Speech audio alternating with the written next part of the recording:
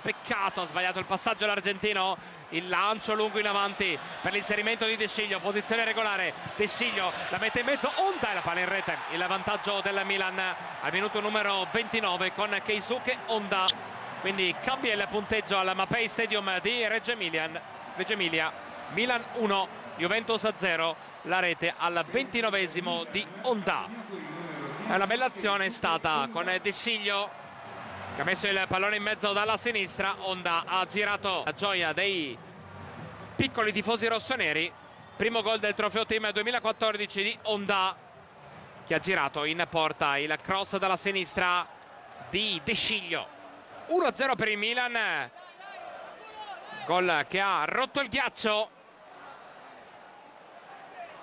con il suo piede prediletto che Onda adesso la Juventus dovrà cercare di rincorrere